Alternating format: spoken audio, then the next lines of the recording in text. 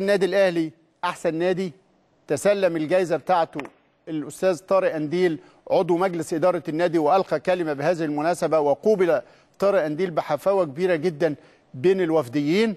فاز الكابتن سيد عبد الحفيظ بجائزه أحسن مدير كورة وفاز علي معلول أحسن لاعب وفاز محمد الشناوي بأحسن حارس مرمى. نشوف في هذا التقرير التكريم المستحق للأهلي في بيت الأمة في حزب الوفد ونطلع لفاصل وبعد الفاصل نفتح أجندة 2019 في الساعات الأخيرة مع الناقد الرياضي الموسوعي الدكتور طارق الأدور بعد تقرير الوفد والفاصل.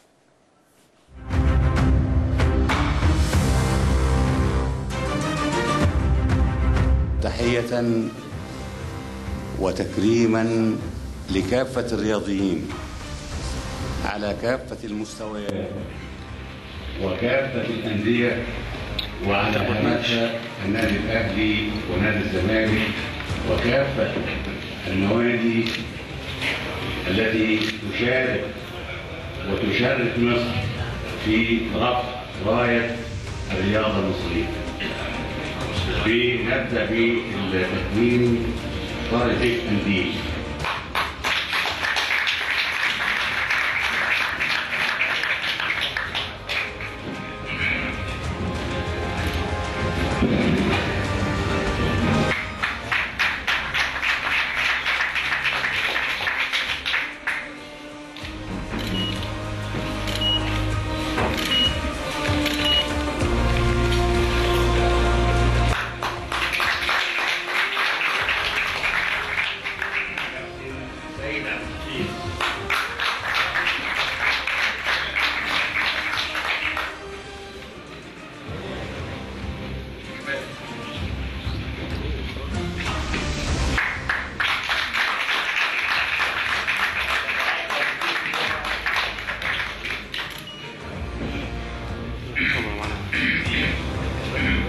كابتن علي معلول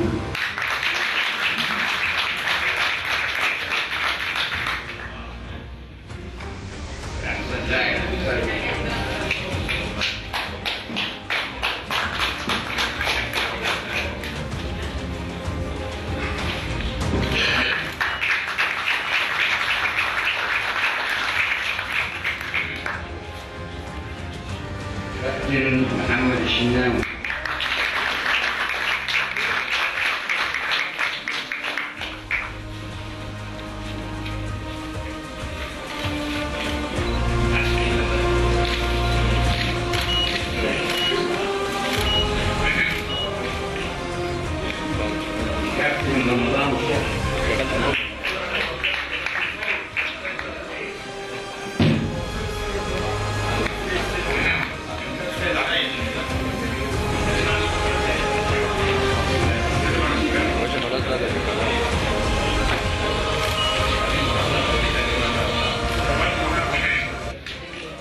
in Amr's very much.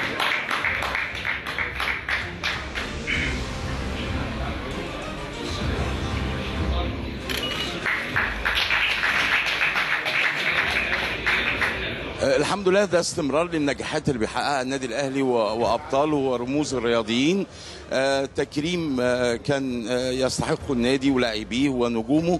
وكمان من الحاجات الملفتة للنظر آه، معالي السيد رئيس الحزب في كلمته وتحيته للكابتن محمود الخطيب اللي إن شاء الله يكون موجود إن شاء الله في الاحتفالية الجاية السنة الجاية لظروف إن هو خارج البلاد ما كانش موجود. وبرضه مش هتكلم على حزب الوفد وعلاقته بالنادي الأهلي.